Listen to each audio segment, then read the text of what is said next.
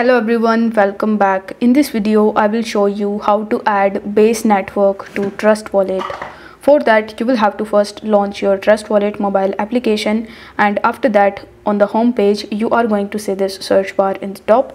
So you need to tap on this search bar where you where you are going to see this all networks section. So in the search bar, you will have to search for base and then you will and then you will be able to find base over here. So if you tap on base, you will be able to see that now you can add base network on trust wallet.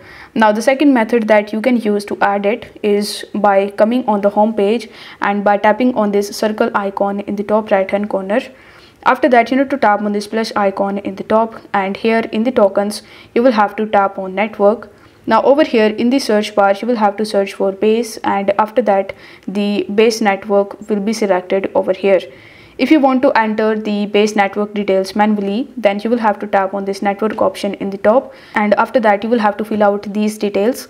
I will put the link of these details i will put these details down in the description box. So you just have to copy them from the description and you just have to paste the details one by one over here and then you need to press the import button. This way you will be able to easily add base network to trust wallet.